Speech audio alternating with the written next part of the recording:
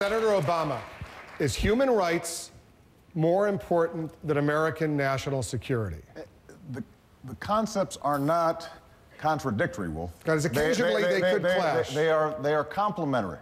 And I think Pakistan is a great example. Look, we paid $10 billion over the last several, seven years, and we had two goals deal with terrorism and restore democracy, and we've gotten neither. And Joe and, and Bill are exactly right on this. Pakistan's democracy would strengthen our battle against extremists. The more we see repression, the more there are no outlets for how people uh, can express themselves and their aspirations, the worse off we're going to be. And the more anti American sentiment there's going to be in the Middle East. We keep on making this mistake.